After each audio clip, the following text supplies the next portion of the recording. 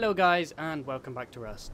Now as you can see it's another lovely day on the Happy Naked server and we've got an update to cover. So this update has changed the research system and how it works and the first change is that they've added these blueprint fragments. Now these can be used to either give you the lower tier uh, blueprints as, as their basic form or you can upgrade these to create higher blueprint yielding items. So you can make 60 blueprint fragments into a page.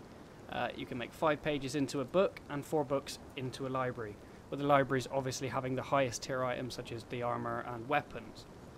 Now, in total, to get one of these libraries, it will cost you 1,200 uh, blueprint fragments, which can be found at the airfield, you know, in um, barrels and the loot crates.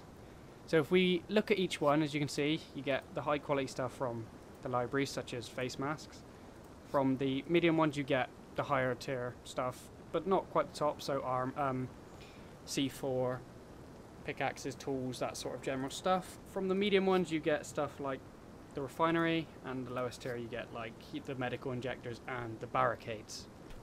The next change that they have done is with the leather. Now the leather is a lot more important in game, and it can be used to make the hide stuff. It's also needed for the higher tier armor. So if we if we make ourselves a poncho, I can show off something else. As you can see here, we've got the values for all of these things on the armor here. So we can see what each one does. Although I don't know if these correspond exactly to what they will give you, as some of them seem off a little bit. And the last change that I can show from the inventory screen is the change item skin. So as you can see here, I've got a long sleeve t-shirt, but I've also got several different um, skins of these.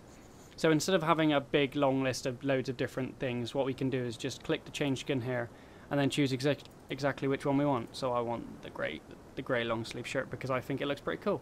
But yeah, that's a pretty useful uh, little change for making it a lot easier to navigate your recipes. So this next change isn't huge, but it's pretty useful for new players. They've decided to add different items in different locations, such as research benches on the airfield in one of the hangars. It's the middle one. Uh, they've added oil refineries to the warehouse at the airfield and a quarry at the standalone warehouse which can spawn anywhere on the map. Now this isn't a huge change to the game as I said, but it's pretty useful for new players to get, you know, some basic early gear and uh, make a nice start. The next change is to do with the sphere that is in game. So as you can see, it has changed completely since the last, you know, last version of it. So if we just go ahead and look inside, it now spawns an awful lot more uh, loot inside of it, you know, uh, lots more of the research fragments and stuff like this.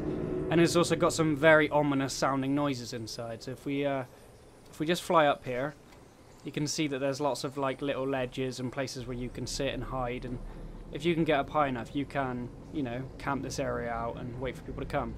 It takes very long to get up top and it's very risky. Uh, it takes like two minutes to run and jump your way all the way up to the top, but overall it's pretty pretty damn well worth it. As you can see, it spawns lots of these boxes which have lots of uh, lots of loot inside.